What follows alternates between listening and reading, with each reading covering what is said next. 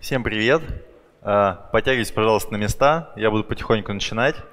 Э, Значит, доклад называется «Спецификаторы и квалификаторы». Э, В анонсе вы, может быть, видели название спецификаторы, квалификаторы и шаблоны. Вот, но потом я узнал, что у меня, короче, не час, а 40 минут, и поэтому теперь доклад называется просто спецификаторы и квалификаторы. Вот. Ну, лучше, лучше так, чем слишком скомканно. Давайте э, сразу скажу пару слов про регламент. Тут вот Саша, короче, на всех шикает, что там вопросы в конце, там все такое прочее. Типа нет, у меня довольно базовый доклад, тут такие довольно простые вещи, и многие э, из них вы, наверное, уже знаете. Поэтому, если становится непонятно э, или просто какой-то вопрос, уточнение, вот поднимаете руку, и там мы прям сразу же его обсудим. И, может быть, у нас будет такая буквально небольшая дискуссия. Э, я буду ее модерировать. Вот так или иначе, я думаю, в наши 45 минут мы без труда уложимся. Так, э, спецификаторы и квалификаторы. Значит, э, какой-то момент своей жизни я задумался, а как мы вообще там живем, что у нас есть, короче, у нас есть const export, extern, thread local, статик, inline, что-то потом еще, вот и куча-куча таких слов, и не знаю, и как вот они все друг с другом взаимодействуют, и полез разбирался, разбираться, оказалось, что, ну, блин, чертова крольчья нора, поэтому э, составил, значит, небольшую э, ну, небольшой гайд, как, и, как их всех переваривать и воспринимать, и вот им, собственно, и хочу поделиться. Но начать нам придется с самого начала, начать нам придется с того, как у нас собирается вообще программа на C++, ну и на C, там система сборки, в принципе, абсолютно одинаковая. Значит, у нас есть хедеры, у нас есть исходные файлы CPP-шники, хедеры включаются в CPP-шники, вот это все понятно. Потом, значит, у нас работает э, препроцессор, он их все включает, у нас получается э, несколько, из каждого CVP-шника у нас получается единица трансляции. Единица трансляции э, включает в себя все э, заинклюденные файлы. Э, вот эти единицы трансляции обычно они виртуальные. То есть э, э, в качестве отдельного файла там ни один разумный компилятор их сохранять не будет. Они все существуют в памяти, может быть в каком-то э, прераспаршенном виде. Но если там попросить, допустим, компилятор может явно в виде их сохранить. Это бывает удобно, на них посмотреть. После того, как у нас сформирована единица трансляции, у нас начинается, собственно, компиляция. И компиляция происходит абсолютно независимо для всех единиц, единиц трансляции. Кто себе хорошо представляет этот процесс? Ну, большинство, да, это очень хорошо, но типа это очень важно всегда иметь в виду, э, когда вы анализируете, как, собственно, будет собираться программа на C++. Так, после того, как у нас э, каждая единица трансляции была скомпилирована в свой объектный файл, у нас работает э, компоновщик, и он уже, собственно, собирает некоторый итоговый артефакт, это библиотека или это исполнимый файл, ну, с которого уже потом можно использовать. Так, хорошо. Что у нас еще есть из таких базовых понятий, которые нам нужно вспомнить? Э, это объявление и определение. Значит, для каждой сущности в программе на C++ у нас может быть сколько угодно объявлений, но может быть ровно одно определение. Причем в некоторых ситуациях у нас в программе может встречаться э, несколько определений, но тогда вы должны гарантировать, что все эти определения будут абсолютно одинаковыми. Если это будет не так, то у вас будет ODR violation со всеми всякими замечательными эффектами, которые сможете наблюдать. Несколько примеров. Вот это у нас объявление функции. То есть у нее нет тела, точка запятой, это объявление. Это у нас определение функции. То же самое, но у нее появилось тело. Это определение. Объявление может быть сколько угодно, а определение должно быть только одно. Это у нас определение переменной. Определение. Это важно. А вот чтобы сделать объявление переменной, мы, например, можем добавить к ней ключевое слово extern. Тогда это станет объявлением. А, кроме того, статические переменные, которые у нас объявляются в классах вот подобным образом, они тоже на самом деле задают объявление этой статической переменной. И как вы знаете, где-нибудь отдельно вне класса, в каком-нибудь CVP-шнике вам нужно предоставить определение этой переменной. То есть написать там а n, и вот в этой единице трансляции у вас эта переменная будет жить. Так, вспомнили, значит, про объявление и определение. Теперь вспомним про то, как у нас работает linkage. Значит, вот у нас пусть будет такая а, простая программка. Это программа, да, в ней два файла, вот ACPP и BCPP.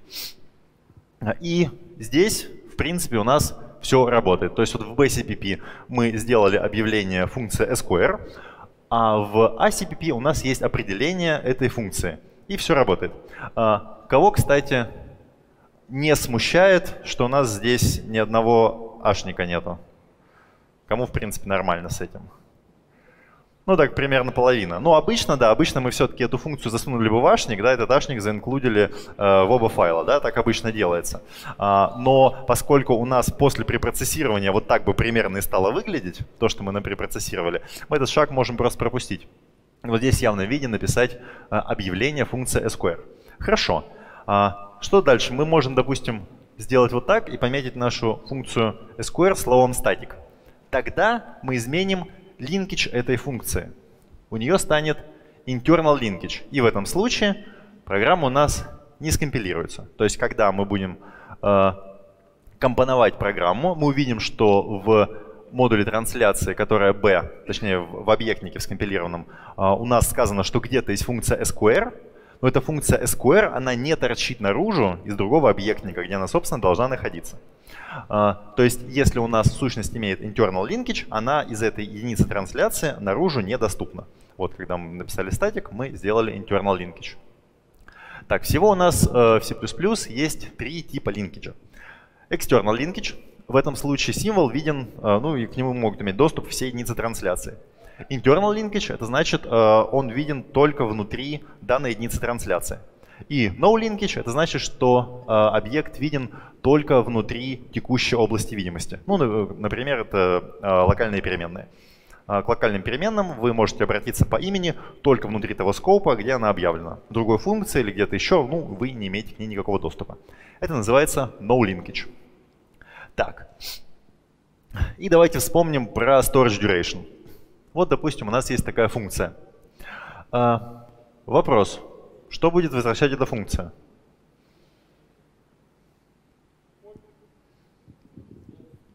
False. False. Я слышу false. Ну да, тут как бы нет никакого подвоха. Функция будет возвращать false, потому что мы в нее заходим, каждый раз это счетчик, каждый раз он равен нулю, и, ну, как бы там у нас не будет больше равно трех. А, но если мы пометим, значит, этот каунтер ключевым словом static вот здесь, то поведение у нас изменится. Теперь у нас первые два раза функция вернет false, а потом начнет возвращать true, потому что у нас это будет один и тот же, по сути, объект. А, то есть, если у нас в этом случае каунтер имеет автоматик storage duration, и он создается каждый раз при входе в функцию, то в этом случае мы изменим, у нас будет static storage duration, и он у нас будет один а, на все вызовы функции. То есть он будет существовать только один в нашей программе.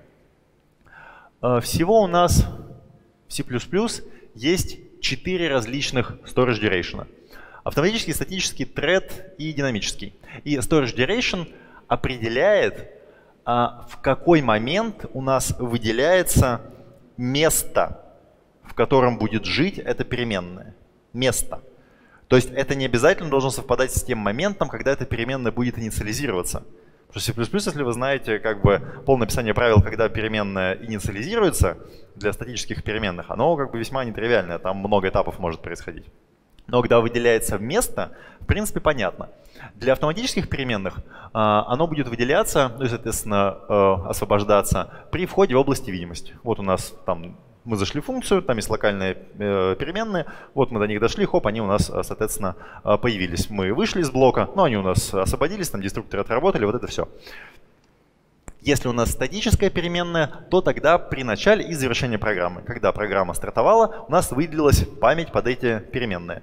А, не факт, что они еще инициализировались, да? но память уже выделилась. Когда программа завершилась, они у нас освободились. А, для thread все то же самое, только не программа, а нить выполнения. И если это динамический storage duration, то при вызове new и delete. То есть мы сами управляем, собственно, временем жизни а, переменной. Так, Теперь, э, если linkage у нас это понятие, которое относится вообще ко многим сущностям, то storage duration относится только к объектам. Потому что storage э, duration, он про память. То есть что-то что должно лежать, что-то реальное, то есть это объект. Значит, э, storage duration применим только к объектам.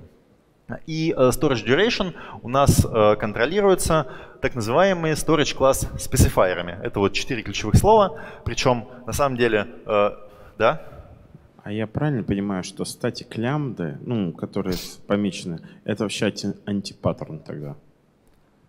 Статик лямбды? Ну, то есть ля-ля-ля, сохраняем лямбду в переменную и помеченную статиком, и это антипаттерн. Нет, не обязательно, но это такой тоненький вопрос, давай сейчас не будем его обсуждать. Окей.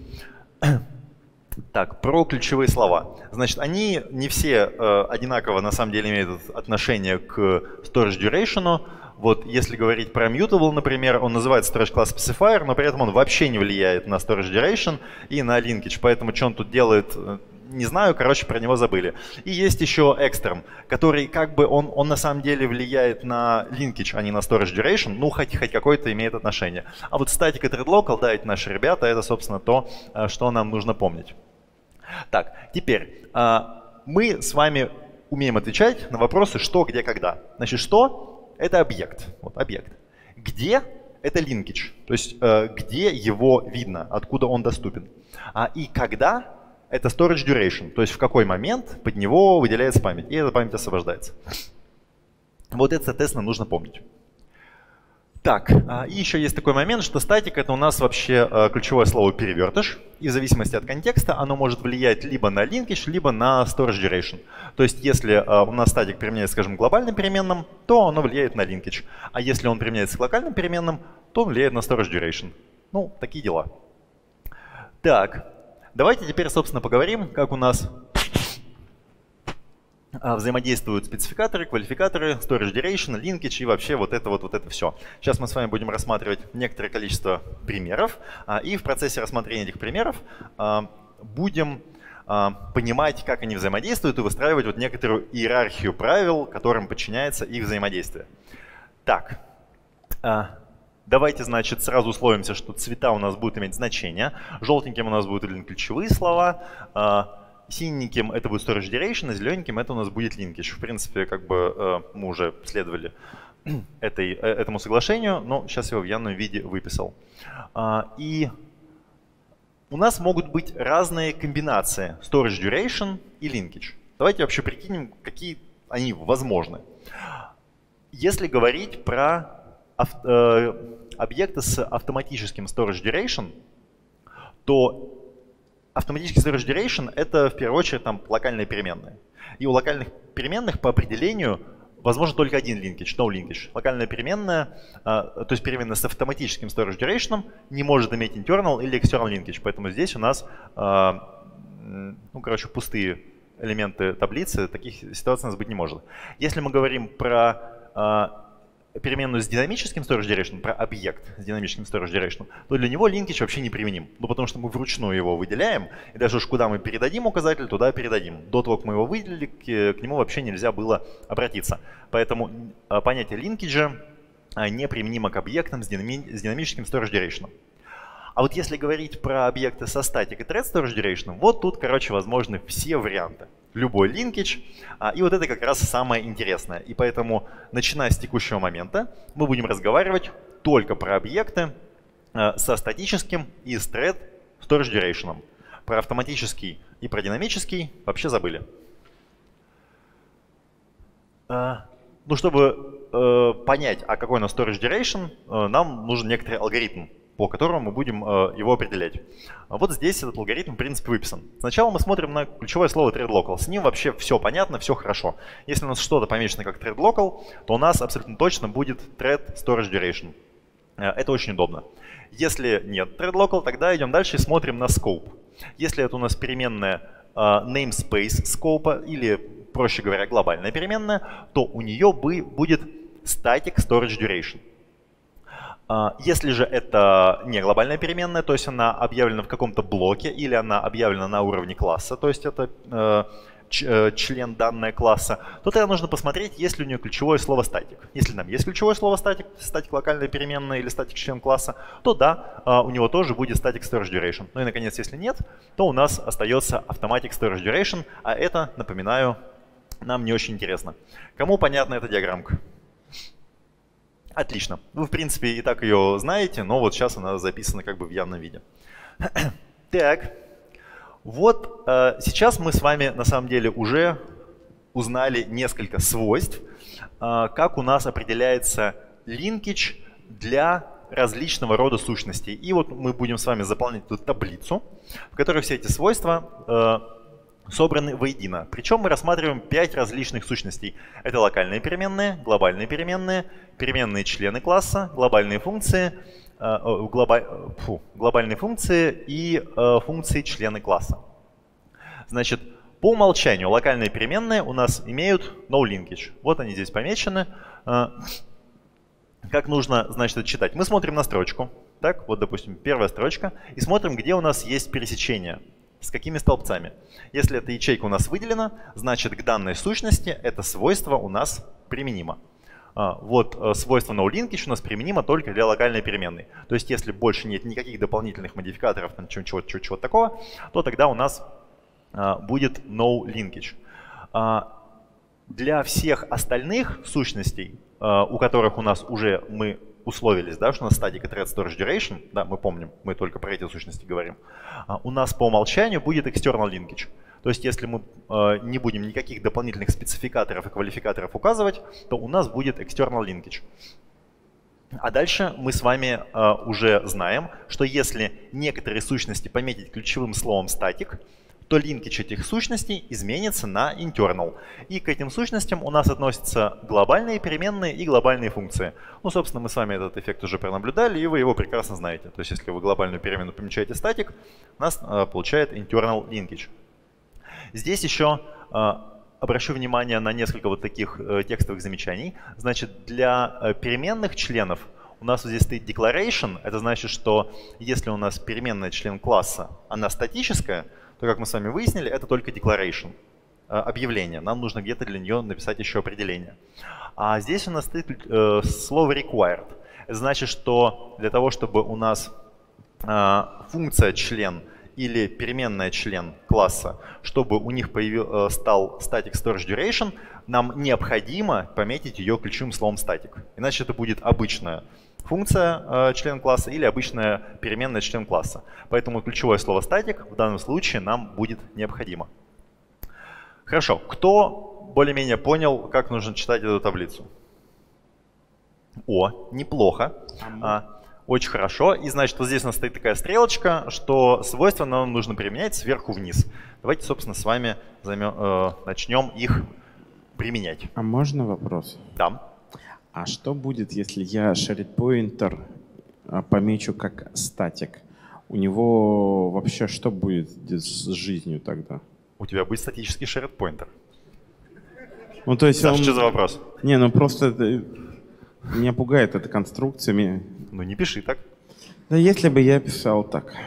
Ну найди того, кто пишет, и объясни, что так не надо писать. Ну вот только что ты мне это помог сделать. Спасибо. Угу. Да. Как к всему этому относится inline? Ну, то есть э, вообще будет речь про inline? Про... Да, будет. Про inline а, будет. Спасибо. Так. Э, окей. Значит, давайте попрограммируем. Вот наша программа. Два файла, ACP, BCPP и э, общий хедер, common HPP. Э, вопрос. Программа скомпилируется? Нет, не скомпилируется. Почему не скомпилируется? Не залинкуется. Да, программа не залинкуется, причем у нас будет э, ошибка, что у нас будет несколько определений символа name. Заметьте, ошибка будет только одна. Она будет ругаться только на символ name. А на символ sickness она у нас ругаться не будет. Кто, кто понимает, почему это так? Так, ну несколько человек понимают, но прикольная тема. Значит, почему это так? Потому что у нас, ну смотрите, у нас есть вот такой параграф, который нам объясняет, в каком случае у нас глобальные переменные, то есть namespace scope, э, переменные, ну не только переменные, тут для вообще имен, ну мы сейчас про переменные будем говорить. В каких случаях у них internal linkage? И а, одна из ситуаций это если они const qualified. Вот, если они дописаны const. То есть понятно, почему у нас э, на sickness не ругается э, линковщик, потому что у нас в единице трансляции для ACPP и для BCPP у нас э, и туда, и туда попадает эта переменная sickness, и у нее internal linkage, она не торчит наружу. Из этих единиц трансляции компоновщик все нормально компонует, там у него все хорошо, никаких проблем. Но этого не происходит для name не происходит name, потому что у нас суперудобный синтаксис э, объявления, значит, э, указатели унаследованные от C. Дело в том, что name не является константной переменной. Она указывает на константный массив чаров. И вот эта const относится к тому, на что она указывает. А вот если бы мы мы этот name можем взять и переприсвоить какое-то другое значение ему, то есть он не является константным. Если бы мы хотели именно константную переменную, мы бы написали const вот здесь справа от звездочки. То есть э, const char звездочка const name, и тогда бы у нас все было хорошо. Так, э, кто понял? Отлично. Так, значит, здесь у нас internal linkage вводится, здесь external linkage вводится, поговорили об этом. Круто. Значит, записываем вот такую строчку в нашу табличку, что если у нас ключевое слово const, то оно влечет за собой internal linkage. И это применимо только к глобальным переменным, вот это правило. Ко всем остальным оно не применимо. А если мы посмотрим на глобальные функции, то ключевое слово const для них вообще написать нельзя. Нет такого понятия, как const глобальная функция. Есть const функция член класса, да. Но const глобальной функции такой штуки нет. Поэтому здесь стоит na, это ключевое слово, просто неприменимо. Окей, едем дальше. Немножко поправили нашу программу. Теперь мы name переделали на const string, а sickness переделали на const expr. Это скомпилируется? Да, это скомпилируется. Да, действительно. А, почему это скомпилируется? Ну, значит, здесь все понятно. const, у нас будет internal linkage. Здесь const expr. Ну, дело в том, что const expr, если оно используется для объектов, оно влечет за собой const. То есть эффективно у нас как бы там и const тоже. Но кроме того, чтобы мы уж совсем не сомневались, у нас вот в этом же параграфе, снова вспомним, написано, что const qualified variables including const expr. То есть const expr тоже считаются. И у них у обеих будет internal linkage, все хорошо, никаких конфликтов у нас не будет. Записываем правило. const expr влечет за собой const. Это правило у нас применимо для всех сущностей, для всех переменных. Для функции оно работает немножко по-другому, а вот для переменных это применимо. Если переменная в любом контексте объявлена const она автоматически становится const. Очень удобно. Так, едем дальше. Вот тут чуть-чуть посложнее. Значит, а, что мы делаем? У нас в общем хедере а, объявлена наша строчка name. И мы еще сделали функцию, которая будет а, возвращать нам getName. Причем getName у нас объявлена вот таким образом. Она возвращает name.data. И она объявлена в одном из CVP-шников. В другом из CVP-шников мы берем этот name и у него спрашиваем напрямую, вытаскиваем его данные. А, дальше мы берем, вытаскиваем данные этого name с помощью функции getName, которая вот из этой единицы трансляции. А после этого мы эти строчки сравниваем, но сравниваем мы их не абы как, а мы сравниваем их просто как указатели. То есть, короче, вот оно указывает там на один буфер или на разные буферы. То есть, по сути, у нас эта программа проверяет, а вот это name, который лежит в двух единицах трансляции, это один и тот же name? Или в каждой единице трансляции у нас свой name? Хорошо, вот здесь вопрос. Что у нас выведет данная функция? Что? Нет, здесь... А давайте на микрофон. Почему?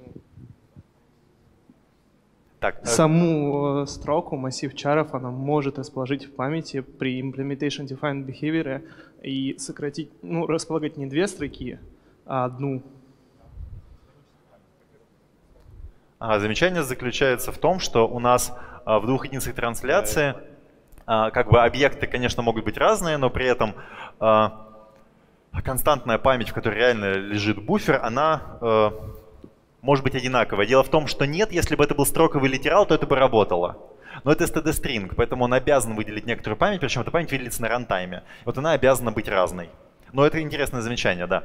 Короче, здесь у нас выведется false. Эффективно, может, не надо просить этот пример, чтобы это не смущало, потому что не имеет отношения к делу.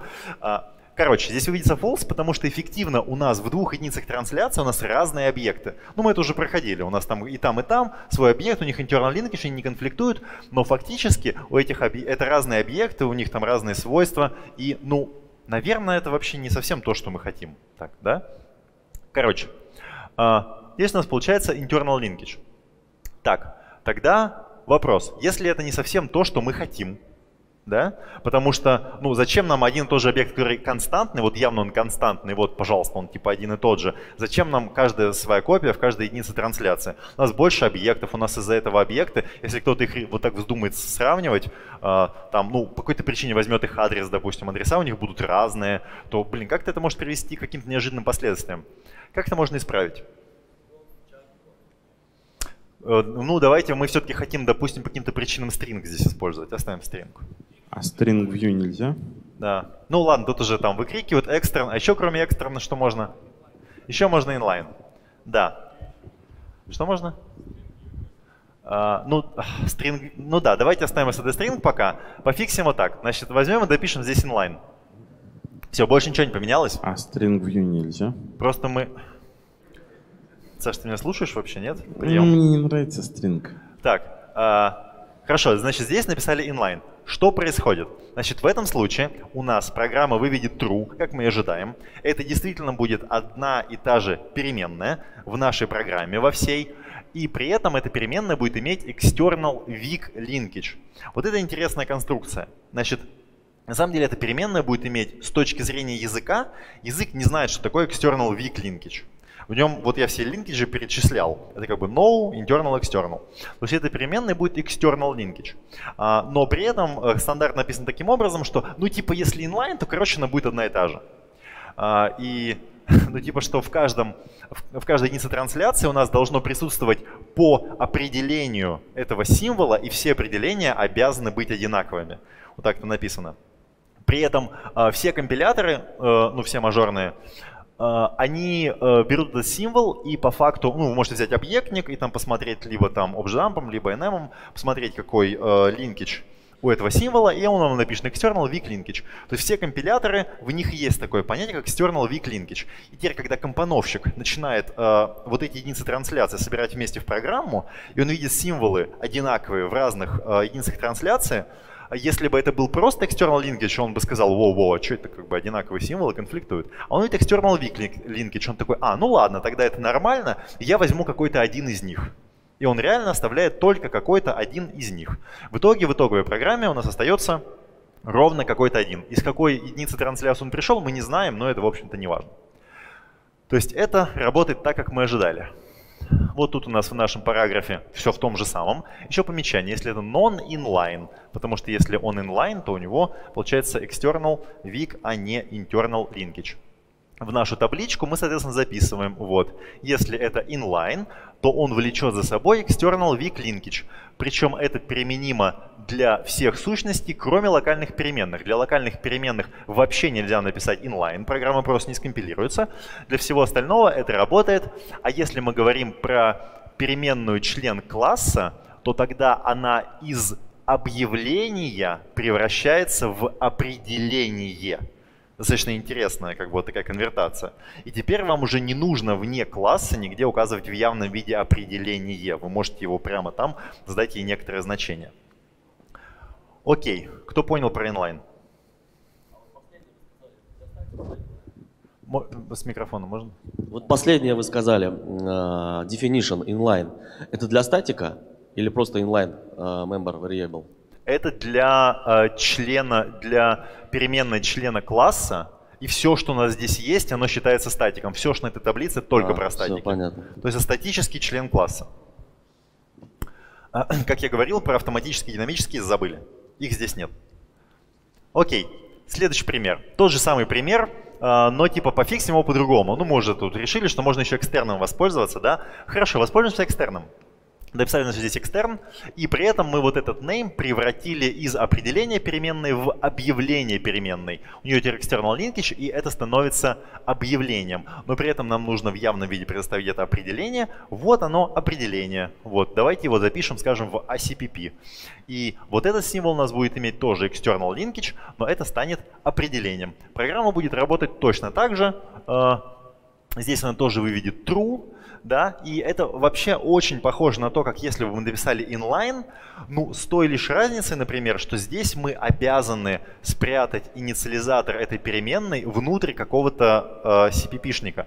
То есть раньше он у нас был прямо в хедере, да, это было довольно удобно. Это не просто удобно, вообще говоря, компилятор тоже может на него смотреть, ну и там что-то прикидывать себе, какие-то оптимизации делать, ну там как он любит, да. А здесь мы его спрятали.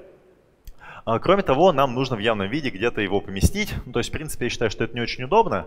А, так, вот в этом параграфе у нас еще, мы по каждой, в принципе, пройдемся этому а, предложению. Значит, если он экстерн, то тогда это будет не inline. Ну вот про экстерн. Значит, ну на самом деле это такая такая себе вещь. Он применим только к глобальным функциям и переменным. Он не совместим со статик, то есть в принципе не скомпилируется. Он не имеет смысла с context per inline, несмотря на то, что формально вы можете это написать. Но как бы если у вас что-то, если переменная context, то у нее обязательно э, в месте объявления должен быть инициализатор. А с экстерном наоборот, вы обязаны инициализатор убрать.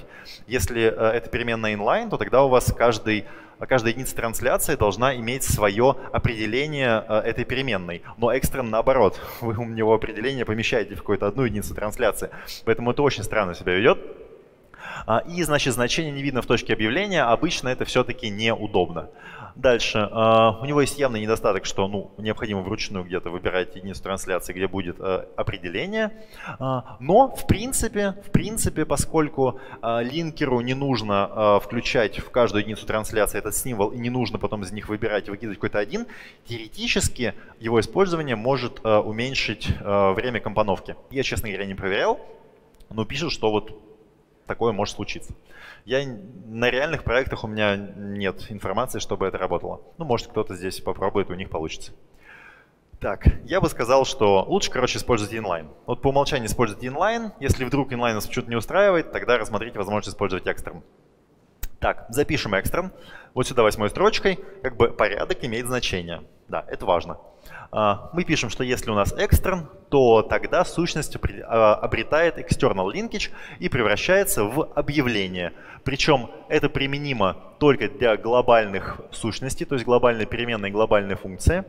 А, для всех остальных сущностей вы в принципе не можете указать слово extern, программа не скомпилируется.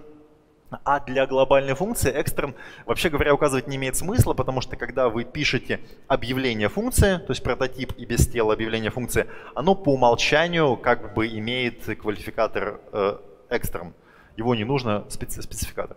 А, спецификатор экстерн, его не нужно туда добавлять. Так что здесь оно просто излишнее. И то есть единственное, где действительно имеет смысл его использовать, это для глобальных переменных.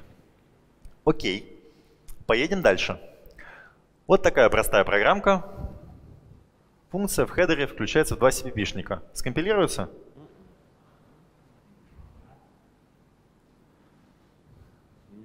Вот тут головами народ мотает, да, она не скомпилируется, а потому что у нас будет ошибка линковки. У нас э, эта функция, она заинклюдится в два CVP-шника. Эта функция — это определение, и у нас в каждом CVP-шнике будет определение в каждой единице трансляции.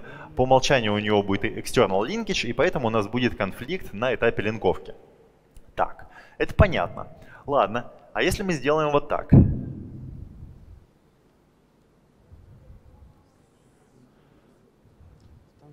Ну, хотелось бы, чтобы компилировалось. На самом деле данные действительно скомпилируются. Дело в том, что утверждается, что если функция описана как constExpr, то она неявно становится inline. В этом на самом деле есть смысл, потому что constExpr функция обязана иметь свое тело а, там, где ее будет использовать компилятор. А компилятор ее не будет использовать на этапе компоновки. Да, ему нужно как-то пораньше, на этапе компиляции. У него есть только, свой, э, только своя единица трансляции. И поэтому в этой единице трансляции э, эта функция должна присутствовать. То есть не inline constexpr функция не имеет смысла. Поэтому у нас constexpr влечет за собой inline. И дальше логика у нас работает точно такая же, как и для inline переменной. External weak linkage. Тут у нас э, две версии. Потом компоновщик выбирает какую-то одну. Да. Подождите секунду, я бегу. А компоновщик вообще включит в данном, э, конкретно в данном примере, если у нас два файла, которые просто включают? Э, в смысле, будет ли она в объектных файлах? В объектных файлах она, может быть, будет, в итоговой программе ее, скорее всего, не останется, но на самом деле там такой суровый implementation defined, то есть там прям даже нет гарантии, что даже если говорить про const функцию, const которая обязана вызваться на этапе компиляции, вообще говоря, стандарт не запрещает ее вызывать на runtime е, потому что стандарт, внимание, не различает между собой время компиляции и время исполнения. Стандарт прописывает наблюдаемое поведение программы. Он не знает, что такое компиляция, что такое исполнение. Поэтому как бы там тоненько. А можно тогда еще быстрый вопрос? Да. А я правильно понимаю, что при шаблонах там тоже будет implicit inline? А, по-моему, да. По-моему, да, но там, сейчас я не помню, слайды я убрал, там чуть-чуть сложнее. А. Короче, шаблонные функции, да, нет смысла делать инлайн, но, по-моему, немного по другой причине. А так что, будет еще один метапчик, где мы продолжим про шаблоны? Не знаю, посмотрим. Давай пока. А, вопрос? Я Попродолжить чуть-чуть рассуждение. Вот там, если вместо constExpr мы сделаем функцию constEval, то может быть и ну, будет как раз таки та ситуация, что не появится она на рантайме-то никогда. Ну, constEval. Ну, на рантайме она так и так не появится, потому что она нигде не используется. Это прям по-любому. То есть здесь нужен другой пример обсуждать.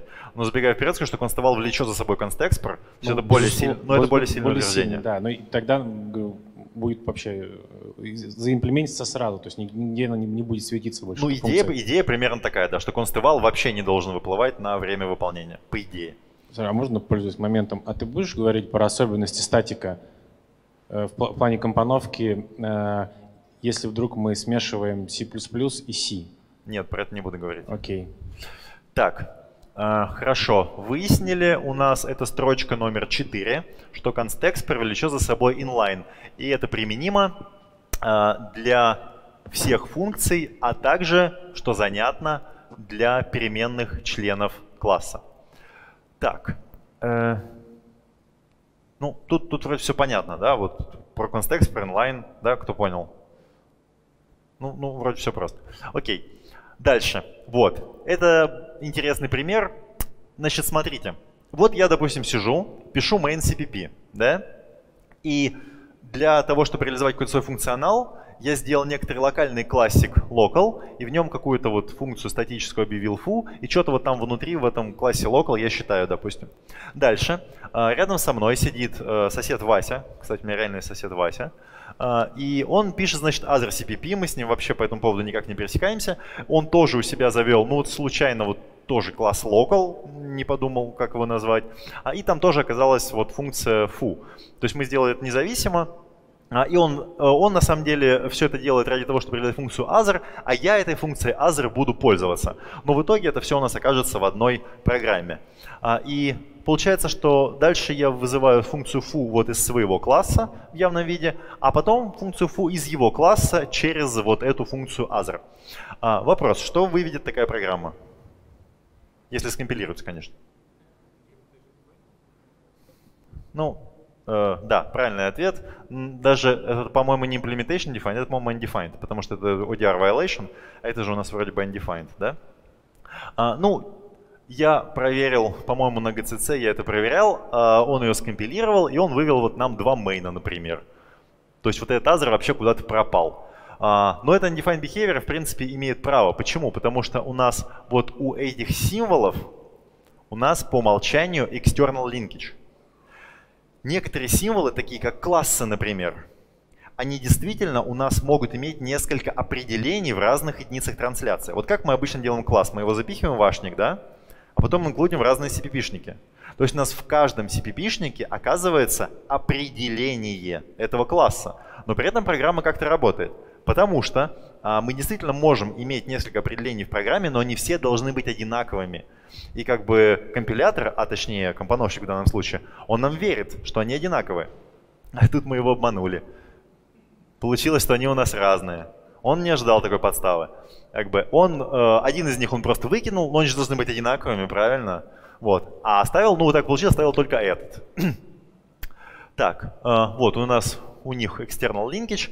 И вот тут, короче, такой момент, что а мы же вроде бы очень похожую операцию делали с обычными функциями, да? Вот функция square, допустим. Мы ее там инклюдим в два CPP-шника. И при этом линкер нам дает ошибку линковки. Почему здесь линкер не дал ошибку линковки? Типа, что за ерунда?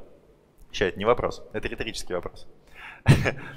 У нас есть вот такое замечательное утверждение, что, ну тут, короче, если ODR violation, да, вот э, происходит, то тогда программа у нас ill-formed, да, shell, ну shell то есть shell, если не shell, то это, короче, плохо. Но no diagnostic required. То есть компилятор, точнее компоновщик, они, короче, не обязаны нам говорить, если что-то идет не так. То есть вот то, что здесь написано, по стандарту не является программой на C++. Но по стандарту компилятор не обязан нам об этом говорить. То есть он что-то сделает в предположении, что это программа на C++. Но поскольку это не программа на C++, он не отвечает за то, что происходит.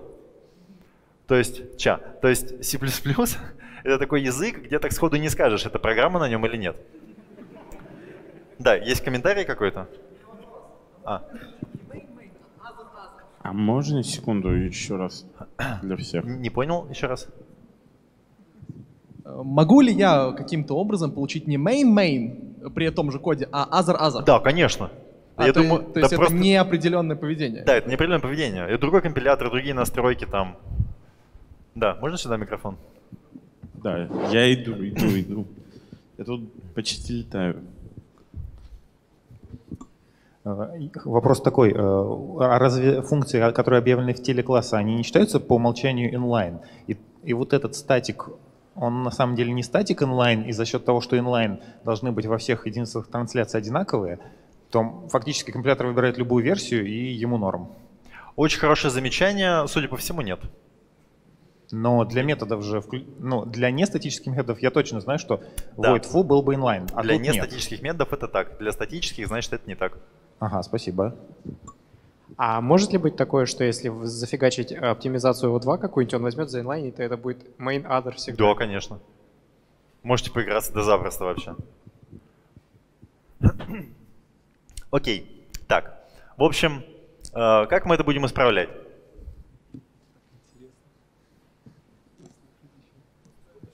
Да, анонимный namespace. Возьмем и засунем это дело в анонимный namespace. Так всегда вообще нужно делать, когда вы хотите сделать какие-то локальные сущности. И тут уже все хорошо, потому что все, что в анонимном namespace, оно имеет э, internal linkage. А вот у нас написано, что вот если анонимный namespace, то это internal linkage. Программа будет main other, как оно и ожидалось, потому что эти сущности у нас имеют internal linkage, все хорошо. Так что все всегда помещайте в анонимное пространство имен. Так, и а, это завершает нашу табличку. Вот у нас добавляется девятая строчка. Если что-то лежит в анонимном или безымянном пространстве имен, то тогда оно получает internal linkage. Это применимо вообще для всего. То есть вот для всех сущностей. Единственное правило, которое вот прям вот всегда работает надежно, анонимный namespace bro. Он бьет даже экстерн. То есть, несмотря на то, что экстерн это external linkage, но экстерн в анонимном namespace это уже не экстерн. Же так не сработает. Да? Миш, ну, ну, но ведь все сломается на Unity билде. Почему? Ну как у тебя там два cp склеятся и два анонимных namespace с одинаковым содержимым все поломают? А, ну да. Ну, слушай, это известный недостаток Unity билдов, что там с ними... Или анонимных namespace. Нет. Unity билдов. Давай как бы здесь сейчас определимся. Окей.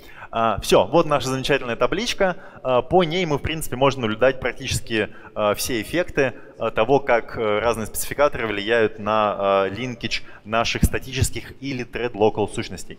А, и, в принципе, как бы вот выглядит примерно так. То есть у нас разные ключевые слова. Они, короче, там у кого карта больше, они там друг друга бьют. Вот, а анонимный namespace, uh, он там бьет всех с фулхаусом. Да. Комментарий, можно микрофон сюда? А, сначала давайте. Меня тут тоже мира... Я здесь. А, Я да. здесь, да. А, вот можно вернуть слайд, где там был э, статик внутри класса, но без namespace. А, еще раз. Вот это? О, да, вот этот вот. А, ш- проверяли ли вы, что будет, если тело, тушку саму функции вытащить за пределы класса? Uh, ну, я почти уверен, что будет ровно то же самое, даже у компилятора будет меньше возможности его заинлайнить. То есть там даже при высокой оптимизации, может быть, он не справится. Просто у меня есть предположение, что в этом случае он не, скомпилир... не слинкуется как раз. Ух, не знаю. Теоретически это возможно, на практике я сомневаюсь, честно говоря. Но теоретически да. Потому что как бы здесь то, что для функции компилятор нам выдал ошибку линковки, а, это на самом деле он молодец, он типа нам помог. То есть он не обязан был это делать, но он помог.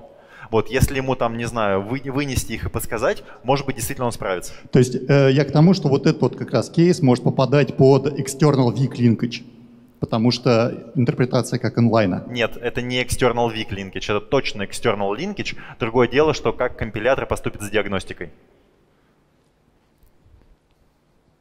Тейк, тейк, тейк, тейк, тейк, А, тейк. вопрос еще я тут хотел задать. А если мы напишем два namespace безымянных подряд, они будут одинаковыми или разными? Это вот вдогонку про Unity Build. По-моему, одинаковыми. Это ж плохо. Да, но анонимные namespace, дело в том, что это не какие-то namespace с э, какими-то уникальными именами. Нет, это не то. Анонимные namespace это что-то, содержимое чего имеет internal linkage. Это важно. Так что с Unity билдами, по-моему, проблемы все равно будут. Ну, я почти уверен, я не проверял, но я почти уверен. А вот было бы интересно послушать все вот это вот в разрезе Pragma Once. А, ничего вроде не меняется. То есть Pragma Once, он же просто гарантирует, что не будет циклических инклюдов. Это типа немного про другое. А еще вопрос. А если мы а, анонимный, ну, безымянный namespace а, заменим на просто область видимости, это нам поможет? А что такое просто область видимости? Ну, фигурные скобочки. А это нельзя на глобальном, а, на глобальном уровне нельзя просто скобочки сделать. А.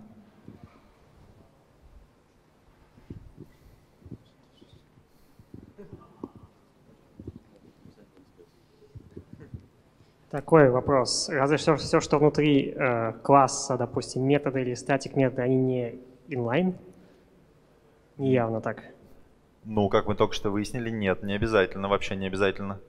Ну, раньше мне так казалось. И то, что если мы выносим за пределы класса, это уже не inline, это уже должно линковаться. Нет, по идее, в большинстве случаев нет разницы между тем, э, объявить, точнее, определить даже не, да, блин, это тоже неправильное слово. Окей, вот да, Предо- предоставить так. тело внутри класса или вне класса, за исключением некоторых тонкостей, таких как вот inline по умолчанию для функций а, и там user provided, user defined, там э, special member функции типа конструктора. Окей, я наблюдал за поведением, если мы выносим статик э, метод или просто метод и помечаем его inline, это скомпилируется всегда. Если мы не пометим его inline, это будет в хедере, это будет ошибка компиляции, ну, линковки. Ну, это вроде соответствует тому, что да, мы сейчас наблюдаем. если оно внутри, то они как бы неявно inline, и все хорошо, все, все работает. А, ну вот вроде бы нет. Ну, то есть, okay. ну, то есть иначе бы такого поведения мы просто не наблюдали, и там, да, я на всякий случай уточню, но вроде нет. Окей. Okay. Так, окей, давай, давайте, давайте дальше. Не, давай, давайте дальше мы... А ладно, давайте спрашивайте, чего ж там. А ты уверен? Да, конечно. Вот вопрос следующий. Есть функция шаблон, и в ней находится статическая переменная, допустим, char. А, э, функция шаблон настраивается на разные типы, там int какой-нибудь, double и прочее. А, есть гарантия, что адрес вот этой вот статической переменной для каждого типа будет разный? Ну, то есть... Да, да, есть, потому что это разные переменные в разных ассоциациях, это абсолютно независимые функции. То есть это сто процентов можно, допустим, э, использовать для каких-то уникальных идентификаторов по, да. по типу. Да, да. А, хорошо, все, давайте продолжать. Там потом уже какие-то дополнительные вопросы обсудим. Про константы. А сколько, кстати, Саш, сколько времени еще? Вообще, Вообще уже минус. Ну, то есть Серьезно? уже минус минуты идут, да. Ужас какой. Это относительно 45? Да. Ну хорошо, про константы в принципе быстро. А, вот так константы объявлять не надо. Точнее, вот так, в принципе, ну, это прикольно. И ну, мы, наверное, иногда можно, если это именно целочисленные. А, вот так константы объявлять надо. Вопросы? Хорошо, предыдущий слайд. Вот. Да. А можно про текущий слайд? Так. Назад. Окей, вперед. Про текущий слайд. Почему inline export? Почему нельзя просто export? О, почему inline export? Потому что export не влечет за собой inline, если он применен к глобальным переменным, но при этом мы не хотим, если здесь написано header, да, если переменная в хедере, мы хотим, чтобы у нас э, не было дубликации объектов в каждой единице трансляции, да? Поэтому мы пишем inline. Окей, для интов они просто как бы вставятся в код как есть, они не будут дубли дублироваться в объектниках, я правильно понимаю? Нет, для интов они могут дублироваться. Ну, точнее, если вы, а, если у них не будет ODR usage, то есть они только будут, скажем, использоваться для определения границ массивов, да, то тогда, скорее всего, в принципе этого объекта не будет существовать. Но если вы, скажем, возьмете у него адрес, то тогда объект должен реально существовать в программе. Если вы в двух единицах трансляции возьмете адрес этой переменной, то адрес должен быть разным, если не будет inline а. А если будет inline, то адрес должен быть одинаковым. И это хорошо. Это то, что мы, в принципе, хотим. Окей, спасибо. Так, а, у меня тогда вопрос. Все, вот, кстати, это мы по поводу header ов сделали, да? А, у меня единственный вопрос, там подробнее, вот если хочется подробнее про константы, короче, приходите на C++ Russia в апреле, у меня там полтора часа, ну, час, час будет чисто про константы. Вот, очень интересная тема. А сейчас у меня вопрос, кто комфортно себя чувствует, когда видит статик expr вот, вот здесь? Ну, человек 10, нормально. Короче, про const expr очень полезный способ, как э, читать static const expr. И он читать вот так. У вас есть время компиляции программы, и у вас есть время выполнения программы. Представьте, что это две разные программы. Одна компилируется там, а вторая выполняется. А, и вот constexpr, он работает только, он вообще имеет какой-то смысл только на этапе компиляции. После того, как э, программа откомпилировалась, вот этот constexpr, он превращается просто в const, ну, для переменных. А, и после этого вы смотрите, когда уже вы счит, э, прикидываете, как программа будет выполняться, вместо constexpr просто представьте, что там const. Вроде с этим не должно быть проблем. А вот статик, он существует только для времени выполнения, он не имеет смысла на этапе компиляции. Потому что статик это про время жизни объекта. Ой, фу, про место жизни объекта. А, ну, точнее, так и так можно сказать. Про то, где, короче, выделяется про, него память. А, и как, как это делать компилятор на этапе компиляции, да вам, в принципе, вообще наплевать. Там что угодно может происходить, правильно? А вот на этапе выполнения вам уже важно, где живет объект, когда под него выделяется память. Поэтому если посмотреть на вот этот static expr здесь, э, значит, что это будет э, глобальный объект, по сути, а четвероточие n3, он будет один глобальный, а const expr значит, что он просто доступен на этапе компиляции. И он всегда значение 3. Вот все. Еще const expr влечет за собой inline, то есть он вот implicitly inline, поэтому э, у него будет Э, один и тот же. Э, его, короче, э, можно инициализировать прямо здесь, в теле. Так, а, ну еще вот тут про const и volatile. Они тоже такая прикольная парочка. То есть нет никаких проблем с тем, чтобы комбинировать const volatile. Нас будет const volatile переменная. Потому что const отвечает на вопрос, можем ли мы менять объект, а volatile на вопрос, может ли кто-то другой менять объект. Ну и, соответственно, читать объект. Так, здесь этот пример который у меня был в заглавии. Про темплейт мы не обсудили. Но вот это const, э, он э, влечется за собой констекстом, поэтому он не важен. Здесь inline, э, он, короче, его бьет статик в соответствии с нашей таблицей, мы его убираем. Здесь статик для глобальной, значит, internal linkage. Thread local значит thread storage duration. И получается, что это шаблон конструктора volatile переменной thread storage, thread storage duration и internal linkage. Вот, в принципе, все должно быть понятно. Так, заключение. О, а да. можно вернуться на предыдущий слайд? Что? А можно вернуться на предыдущий слайд? Конечно. А вот что будет, если там будет стринг? А констекст к стрингу, к сожалению, мы пока не можем сделать. А к std уже можно, да? К std можно, да. А там что будет с этим вообще? То есть оно будет завязано все... Понимаешь, я просто вот на эту чудесную конструкцию смотрю и думаю, а нафига она нужна? Зачем оно волатайл, я тебе не могу точно сказать. Ну окей, пусть не будет волатайл, там же тредлокал есть. Кликбе- Кликбейт, чувак, нормальный кликбейт. А, это. Я по... А, да. то есть это маркетинг на самом деле. Конечно. Понятно, маркетинг и C++, огонь. Не, ну если очень сильно постараться, может можно придумать, зачем это нужно, но я тут не для этого. Нет. Так, заключение. Э, собственно, что? Э, все суем в анонимное пространство имен, это хорошо. Э, значит, вообще даже есть тема не использовать статик. Статик это слово перевертыш, то есть не использовать его для глобальных переменных, то есть для модификации линкиджа, а использовать его только для локальных членов класса, то есть для модификации storage duration. Тогда у него будет только один смысл. Это удобно. Его даже хотели сделать deprecated в контексте модификации линкиджа, но что-то отказались. А, вместо external лучше использовать inline, вместо const лучше использовать const там, где это возможно. А, и, а, да, тихо. А, и э, если у вас Вообще глобальная переменная это зло. Мы помним, да, что глобальная переменная это зло. Переменная с, с статическим storage duration это эффективно глобальная переменная. И лучше использовать ее только для констант. Ну и опять же, если хотите знать подробнее про константы и что там с ними, приходите на мой доклад на себе пираша. На этом все. Спасибо.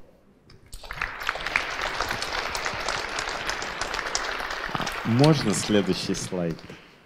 Да уже, уже все нормально. Всё, уже- Следующий уже можно. А Что там в 20-х-то уж? Ну расскажи. Ну я видел там слайд. Че, правда? Ну покажи уже этот слайд. Ну ладно. Ну вот модули будут. Вот так, да? Ну, будут модули, и там как бы изменится, что у нас появится, типа, external linkage уже будет для all модулей, а то, что было, то, что было external linkage, будет называться модуль linkage.